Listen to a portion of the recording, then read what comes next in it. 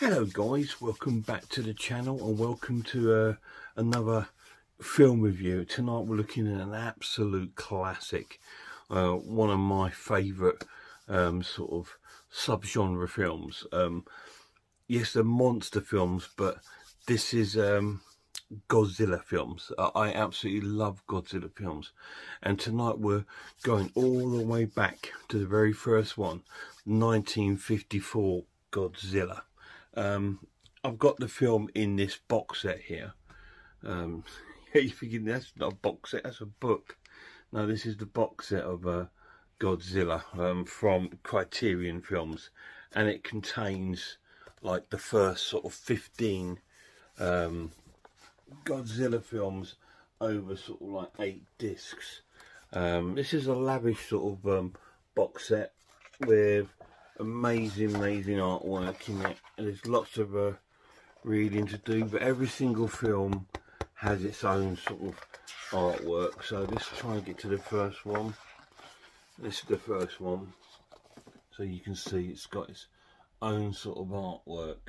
Uh, amazing, amazing box set really really cool. And it contains like the first 15 films of the Showa uh, era which was the first sort of era of the Godzilla films. Um, yeah this one was made in 1954 and it's a really really important kind of film in the sense it tackles some really big issues. It's more about um, this film is more about uh, the destruction that human beings do rather than the actual um, Godzilla monster itself, because Godzilla itself is supposed to be like this ancient um, uh, creature that lived in the sea, um, in the depths of the sea, in the an abyss, but around um, these islands, and and some of it's sort of, sort of based on true stories. Some of it, um, it's all based around these Japanese islands, um, where the Americans after World War II were doing lots of nuclear weapon tests and the hydrogen bomb um, tests and stuff like that. And this has all occurred due to the result of these tests. That the radiation in the water has reactivated um, a Godzilla, and Godzilla sort of feeds on sort of like radiation and sort of nuclear sort of power, and it sort of resurrected him up and this this film sort of begins with a sort of like um a couple of boats being destroyed out in the same spot. The sea like first of all it's almost like a volcano sort of going off. Um and these sort of boats being sunk and they're trying to find out what it is. And then there's a storm one night in a nearby island where it looks like the island's being destroyed by this weather and then in the morning they see these huge sort of footprints in there. So it's not the weather it's uh, it's something else. And so there's lots of things all going on. And that they're, they're sending out research teams to these areas to try and find out what is causing this um, disruption in their sort of in their environment. It's just that is sort of like um, putting all their little these little islands and Japan and Tokyo at risk and we all know it's Godzilla uh, that's sort of coming back to life. Now, in the early film, Godzilla was looked upon as as as a, as a baddie. He he wasn't a, a, a the sort of like um um hero that's been betrayed by like the American sort of films. He was looked upon as like a to be feared, um like an sort of evil kind of creature, sort of spirit.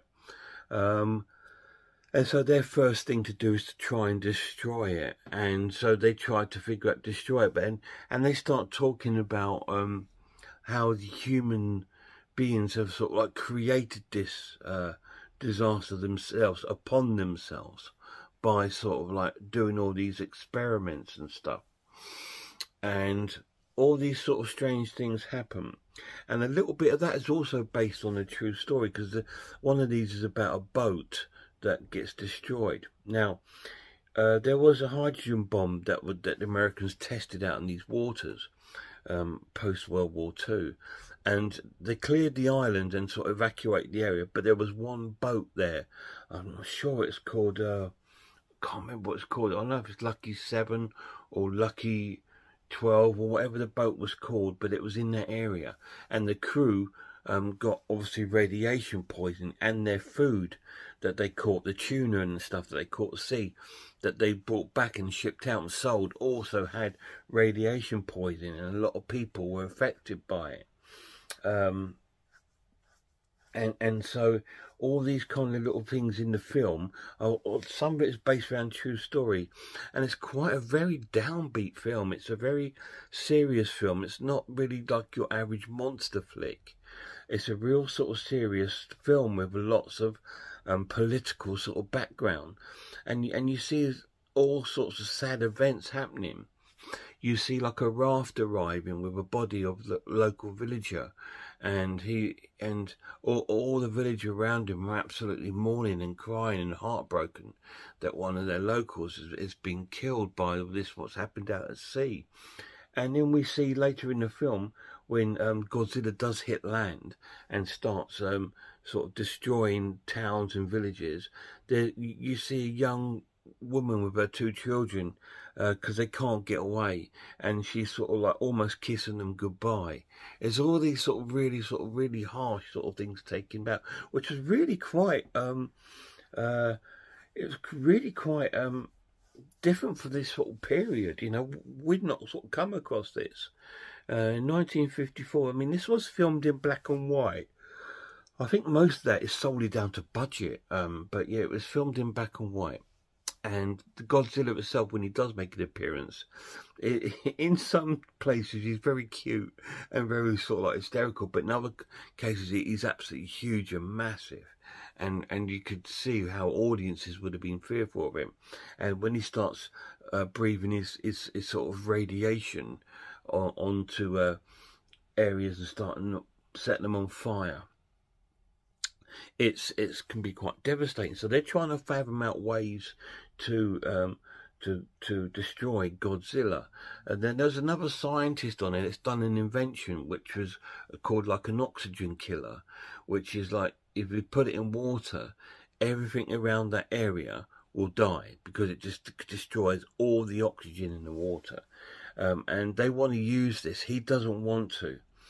Um, and obviously in the end they do they use it they put it in the water uh, but it kills all the wildlife and stuff that's in that water in that area. And the scientist can't forgive himself thinking what have i created? You know what have i done? You know why do we keep as a as as a as a creature on this planet why do we just keep destroying everything we come across? And this is the message that comes across. And then you start thinking is godzilla put here for a reason? To sort of like return the balance, if you like, because hu human nature is just destroying everything. So is Godzilla there to sort of like put the balance right, if you know what I mean. So you need to watch it and find out. Um, what do I think of the original Godzilla? It's incredible. It's an amazing, amazing film. Yes, it's of its time. It's dated, and some of the film looks pretty rough. Although it's Blu-ray, it's a very old film, and it's not a film that's been taken great care of. But they've done the best they possibly can with the restoration of it. Um, the the plot and the story is the main thing of this film. Like I said, it's not all about the monster. There, there is lots of shots of Godzilla destroying um, plastic cars and, and buildings, and and you can see in some parts of the film it's wonderful. Like a, uh, you, you, can see the person in the car is a plastic figure, and, and it's fantastic. It's just brilliant, and so it's got all that sort of charm to the film, but the most important thing about the film is is is the overall story, what it's telling you, and what we've done to create such a situation where uh, the planet has this creature that has to try and return the balance of life. Um, brilliant story, really well acted. The the women in the film were a little bit irritating because they all very overact and they start crying and yelling and wailing all the time. And it's just like, oh, come on, stop it now. But the story is fantastic. It is quite a long film. It's, it's over two hours. Um, and, and there's a lot going on to sort of like grip. So it is a film that can require quite a, um, some rewatch value in there just to see what's going on. Um, but it's amazing.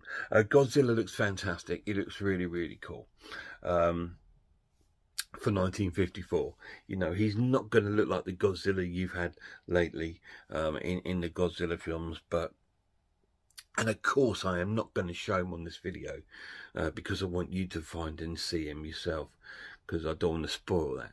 Um, but anyway, that's it. And I'm going to score this film now as an essential watch and give it a 10 out of 10. It's an absolute essential watch because mostly because of the, the political story that this this this sort of film gives off and the wonderful way it's shot and the wonderful way they sort of introduce this storyline of how humans are destroying it into like a monster film which is absolutely really really cool and advanced for its time amazing Godzilla 1954, 10 out of 10. Any of you guys seen it? If you have, let me know down below what you think of it. Really, really cool film. Absolutely amazing. Um, it, it it's an old film, but it doesn't get old. And the story is just as important today as it was then because we haven't learned anything and we're still doing the same mistakes. Um, but it's absolutely amazing. Please check it out if you've never seen it. It's definitely worth. Now I, I don't know uh, where you can pick it up. I mean, you might be able to pick up a second-hand DVD or Blu-ray somewhere, but it might come at a price. I mean, because it is it is deleted, but it's it's a really really really cool. Guys, until my next video, please check out some horror channels for me. Check out Horror Hands, The Horror Geek, Man v Film, RS Designs, Pizzawell. I'm the Ice Lord, Cat Watches Horror Movies, and Grumpy Andrew's Haunted House. And a massive shout out to my Godzilla loving son, uh, Lemon Lord. Till next time, look after yourselves, look after one another, and I really hope I see you all soon.